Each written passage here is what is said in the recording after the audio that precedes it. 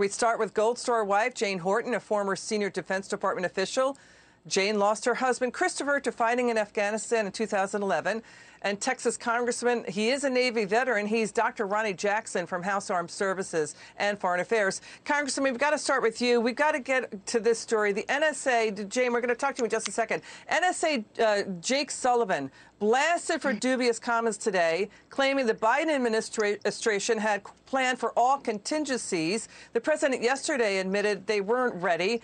And both Jen Psaki and NSA Sullivan saying basically that they don't have any idea of how many Americans they need to evacuate. Your, your reaction to that? Well, the whole thing's embarrassing. It's shameful. And obviously, they didn't prepare for all contingencies. I heard them say that as well yesterday.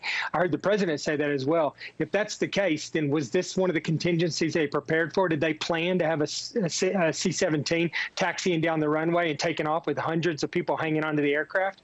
This is absolutely embarrassing. Uh, they've, they've created the absolute worst outcome here because of their lack of a contingency. They obviously did not plan for this. They've put thousands of lives in danger, including thousands of American citizens that are trapped outside the perimeter that's controlled by the Taliban. And I have no confidence whatsoever the Taliban is going to expedite or allow these people to cross through the perimeter and get to the airfield so they can be evacuated. so I think dangerous. we're we're in trouble. You know, the president is returning to the White House tonight at 8:40 p.m. from Camp David.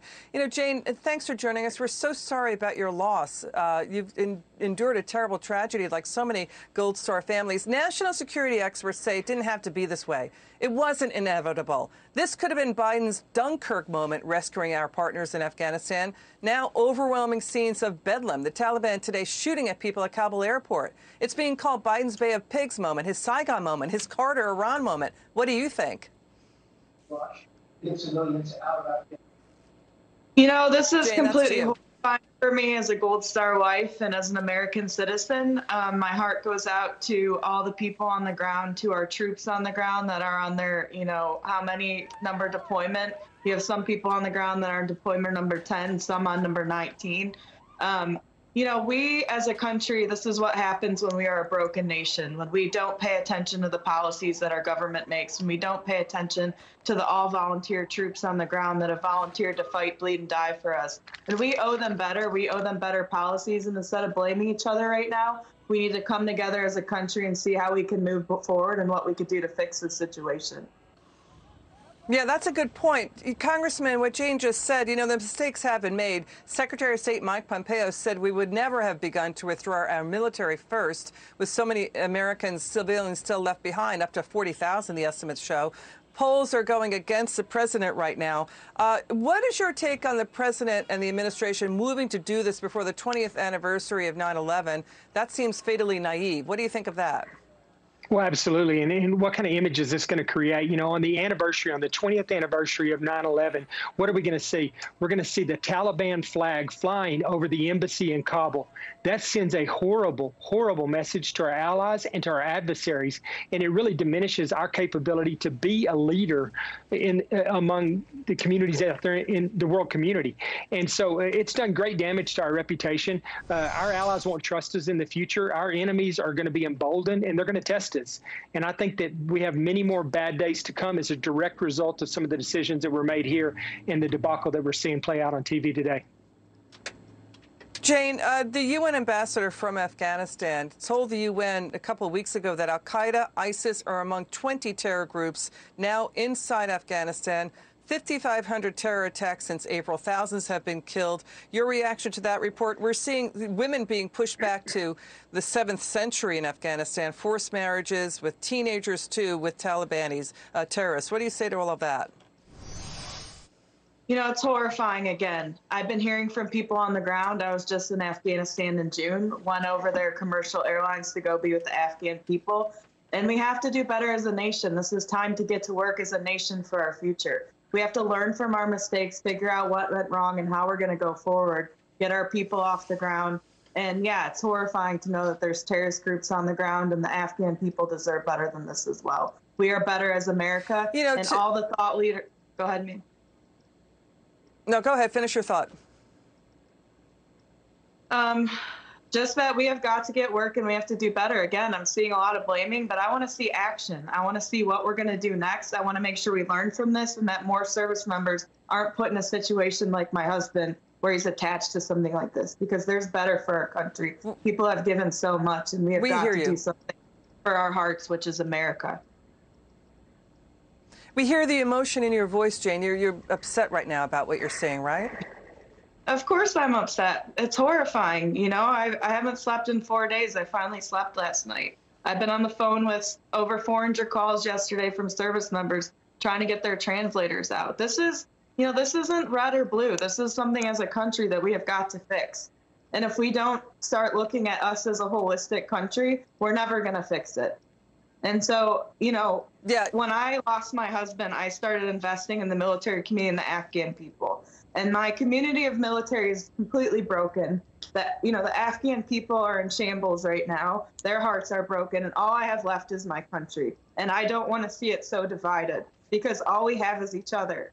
And i don't care what you think. I don't care if you're democrat or republican. You are my people and we will come together as a nation. We will learn from this and we will do better.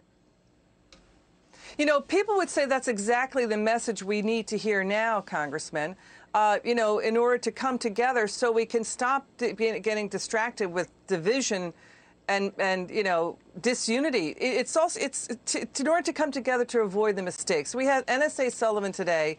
He wouldn't answer why Biden reportedly ignored generals in intelligence report. Why did the U.S. give up Bagram Air Force Base to the Taliban? Um, you know, he, the NSA Sullivan, he admitted the Taliban has, quote, a fair amount of our military hardware. We're talking guns, ammunitions, helicopters. Listen to this from the Pentagon presser, presser yesterday. Watch this. So there's no no U.S. actions being taken to prevent equipment from falling into the hands of the Taliban by destroying it or anything else? I don't have the, that answer to that question. What do you think? Look, I agree with Ms. Horton. We, we we need to get past the blame eventually, but we do have to find out exactly why this happened. And I hope in the House that we have hearings and we bring these people in and we figure out what information was passed to the president and did he not get the information? Did he ignore the information? Uh, who dropped the ball? And I think there's some, need to be some people that need to be held responsible and move on because we've obviously got obviously got some people in these in certain roles that are incapable of of you know of doing their job because they let this happen. So we need to figure out what's happening. We need to refocus. We need to keep our the ball. You know, in the Foreign Affairs Committee and Armed Services for months now, ever since I've been in Congress in January 3rd, we've not addressed issues like this. We've talked about other things. We've been talking about gender nomenclature, transgenders. We've been talking about white supremacy and, uh, you know, and extremism in the military and critical race theory and all these other issues. And we haven't been talking about issues that are important to us as for our national security. And we've got to get back. We've got to protect this nation first and foremost. And we have to come together as Democrats and as Republicans. And we have to take our national security seriously. Okay, we hear you loud and clear. Uh, Democrat Senator J uh, Jack Reed of uh, Armed Services, he's uh, going to, he's talking about launching hearings, hearings after we evacuate our uh, our Americans. Um, you know, reports coming in that you know this was a fast, of course, a fast Taliban takeover that the Biden administration didn't see coming. That's a question. Even last month, Jane, you know, the president was putting out statements this would not be like the fall of Saigon when it did turn into that. You know, he's been criticized in the past, though. He's been vice president for eight years, Senate Foreign Relations as a senator um, in the, in the, during this 20-year fight in Afghanistan. Remember uh, President Obama said he uh, Biden opposed the raid that killed Osama bin Laden.